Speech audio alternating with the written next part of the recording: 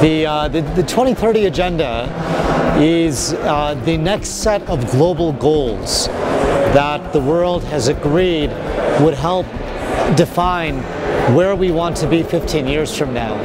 So the Sustainable Development Goals, which are the central part of the 2030 Agenda, are what will follow the Millennium Development Goals. There are 17 goals that look at issues related to economics, issues related to social development, and issues related to, related to the environment. And they're deeply transformative in nature. They're about eradicating extreme poverty, about building shared prosperity, and about tackling a wide range of environmental problems.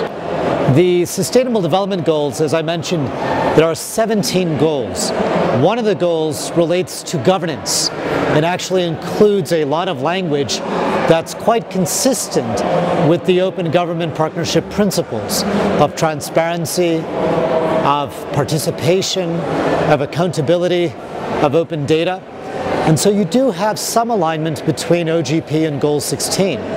But in addition to that, notions of open government, of transparency, of accountability feature quite prominently in many of the other goals, whether it's about healthcare, whether it's about access to clean water, whether it's about ensuring that every child has quality education.